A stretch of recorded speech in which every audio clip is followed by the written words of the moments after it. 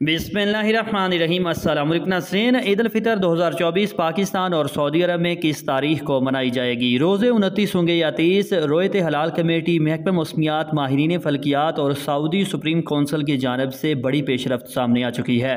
नासरीन बरोज़ सोमवार आठ अप्रैल को कैनेडा, अमरीका, ब्राज़ील, मैक्सिको समेत दुनिया के मुख्तफ मगरबी मुल्कों में लगने वाले मुकम्मल सूरज ग्रहण की वजह से ईद फ़ितर दो हज़ार चौबीस की तारीख तकरीबन सौ फ़ीसद फ़ाइनल हो चुकी है।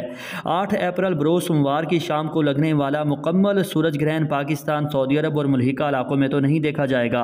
तहम सूरज ग्रहण की वजह से शवाल के चाँद की पैदाइश देर से होगी, जिसकी वजह से सऊदी अरब में आठ अप्रैल बरोज सोमवार की शाम को उनतीस रोज़े पूरे होने पर ईद फितर दो हज़ार चौबीस का चाँद नज़र आने का कोई इम्कान नहीं। सऊदी अरब में पूरे तीस रोज़े हो जाएँगे। तहम अब ये तकरीबन सौ फ़ीसद फाइनल है कि पाकिस्तान में उनतीस रोज़े ही होंगे।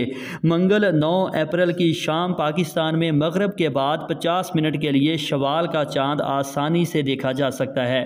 तो इस तरह सऊदी अरब, पाकिस्तान और भारत में भी ईद फितर 2024 एक ही दिन 10 अप्रैल बरोज़ बुध को मनाई जाएगी।